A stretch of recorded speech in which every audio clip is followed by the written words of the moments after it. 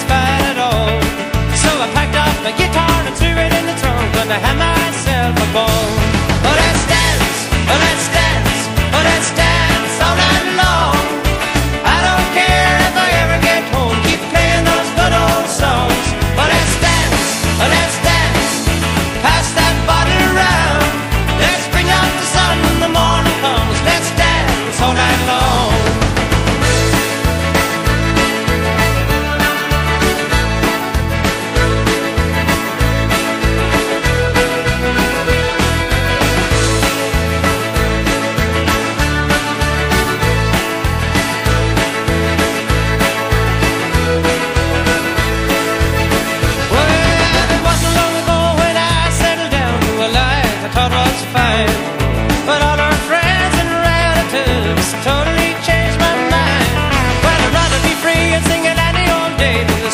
was right here.